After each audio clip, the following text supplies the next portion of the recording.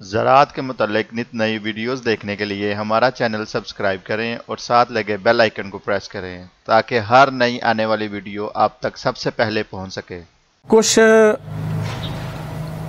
ਜ਼ਿਮੀਂਦਾਰਾਂ ਦਾ ਮਸਲਾ ਹੁੰਦਾ ਕਿ ਉਹਨਾਂ ਦੀ ਜ਼ਮੀਨ ਕਲਰ ਵਾਲੀ ਹੁੰਦੀ ਹੈ ਜਿਹਨੂੰ ਅਸੀਂ ਕਲਰਾਠੀ ਜ਼ਮੀਨ ਕਹਿੰਦੇ ਹਾਂ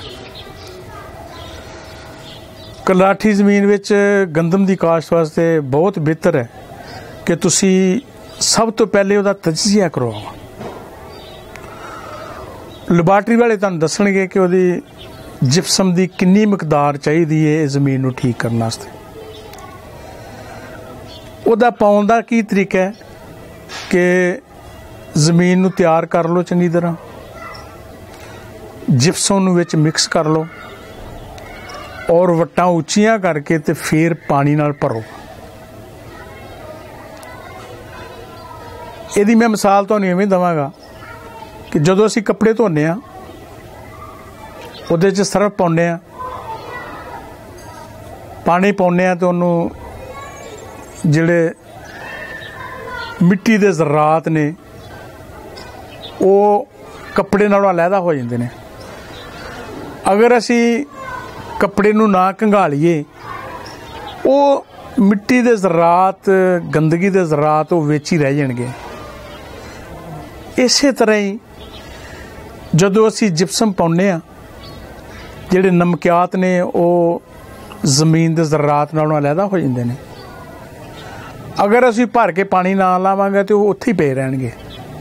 ਜਦੋਂ ਅਸੀਂ ਭਰਵਾਂ ਪਾਣੀ ਲਾਵਾਂਗੇ, ਉਹ ਜ਼ਰਾ ਨਮਕਿਆਤ ਜਿਹੜੇ ਨੇ, ਉਹ ਪਾਣੀ 'ਚ ਹੱਲ ਹੋ ਕੇ ਥੱਲੇ ਚੱਲ ਜਾਣਗੇ।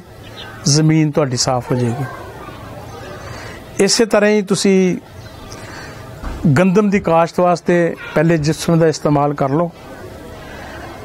ਅਗਰ ਤੁਸੀਂ ਟਾਈਮ ਥੋੜਾ ਸੀ ਜਿਪਸਮ ਦਾ ਇਸਤੇਮਾਲ ਨਹੀਂ ਕਰ ਸਕੇ, ਤਾਂ ਉਹਦਾ ਇਹ ਹੈ ਕਿ ਤੁਸੀਂ ਉਹਨੂੰ ਰੌਣੀ ਕਰਕੇ ਕਾਸ਼ਤ ਨਾ ਕਰੋ। ਪਹਿਲੇ ਪਾਣੀ ਲਾ ਲਓ। ਪਾਣੀ ਦੇ ਨਾਲ ਨਮਕਿਆਤ ਥੱਲੇ ਚੱਲ ਜਾਣਗੇ। ਖੜੇ ਪਾਣੀ 'ਚ ਗੰਦਮ ਦਾ ਛੱਟਾ ਦੇ ਦਿਓ। ਉਹਦਾ ਤਰੀਕਾ ਇਹ ਹੈ ਕਿ 5-6 ਘੰਟੇ ਬੀਜ ਨੂੰ ਭਿਉਂ ਲਓ। ਉਹਨੂੰ ਕਿਸੇ ਕੱਪੜੇ ਤੇ ਪਾ ਕੇ ਖੁਸ਼ਕ ਕਰ ਲਓ। ਉਸ ਬੀਜ ਦਾ ਤੁਸੀਂ ਖੜੇ ਪਾਣੀ 'ਚ ਛੱਟਾ ਦੇ ਦਿਓ। ਇਹਨੂੰ ਕਹਿੰਦੇ ਨੇ ਗੱਬ ਛੱਟ। ਯਾਨੀ ਗੱਬ ਵਿੱਚ ਛੱਟਾ ਦੇਣਾ। ਜਿੱਥੇ ਤੁਸੀਂ ਤੁਹਾਡੀ ਗੰਦਮ ਦੀ ਕਾਸ਼ ਲੇਟ ਹੋ ਜਾਂਦੀ ਹੈ ਉੱਥੇ ਵੀ ਤੁਸੀਂ ਇਹ ਤਰੀਕਾ ਅਪਣਾ ਸਕਦੇ ਹੋ। ਆਪਣੀ ਰੌਣੀ ਦਾ ਟਾਈਮ ਬਚਾਓ। ਖੜੇ ਪਾਣੀ ਵਿੱਚ ਛੱਟਾ ਦੇ ਕੇ ਅੱਛੀ ਪੈਦਾਵਾਰ ਲੈ ਸਕਦੇ ਹੋ।